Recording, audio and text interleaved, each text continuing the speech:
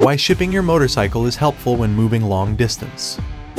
One significant difference is that vehicle shippers primarily use a variety of open trailers for shipping, the most common of which is a multi-level model that is capable of handling up to 8 vehicles at a time.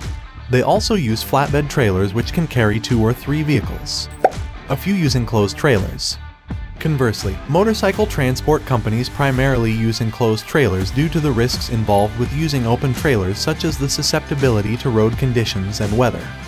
Furthermore, there is a greater risk of damage or theft when motorcycles are shipped in open trailers. Naturally, shipping your motorcycle in an enclosed trailer will cost more.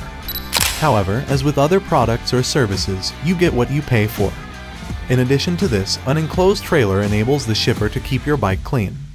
Another difference is that vehicle shippers typically do not have the proper equipment for shipping motorcycles.